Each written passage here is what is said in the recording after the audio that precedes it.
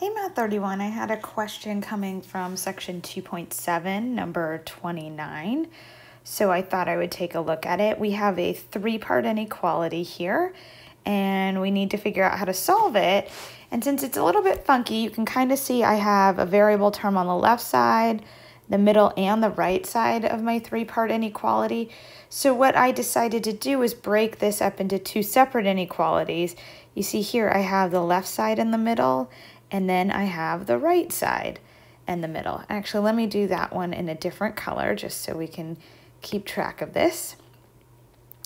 And so what I did was I solved those two inequalities separately. So let me, since I'm on the purple color, I'll keep this here.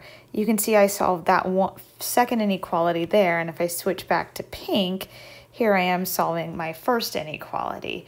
So when I have those two, what I want to do ultimately is see where does this inequality on the number line match this inequality on the number line? Where is their intersection? Because if I can figure out where they overlap, then I can get a general solution to my original three-part inequality.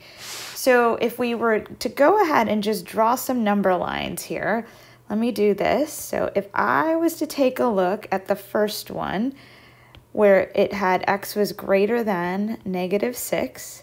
If I go to the number line, right, I've got negative 6 here, and I want to shade to the right because that's talking about everything greater than negative 6. All right, fantastic. But now let's try the other inequality. So let me draw a number line again.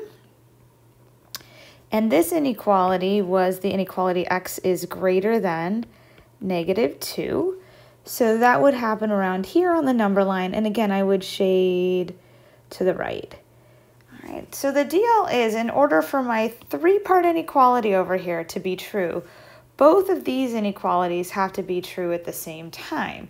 So if we start to look at where they intersect, or another way to say that, let me use this is, let me use a different color. Oops. Where, oh, that's too light. Let me get green. Where do these two number lines overlap. Meaning, when are they true at the same time? So when do these two number lines overlap? Because I need a number that's greater than negative 6 to satisfy this first inequality, and I need one that's also greater than negative 2. Well, if you take a look at where they overlap, it's from here on up. You can see that in this green square, I have both the pink line going and the purple line going. And a way of saying that, a simpler way of saying that is just as long as my number is greater than negative 2, then I'm good to go.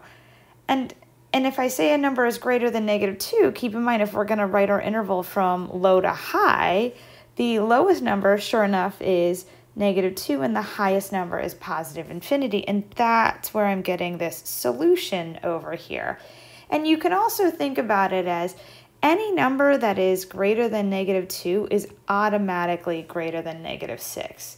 So this one here, this inequality is actually the stronger statement.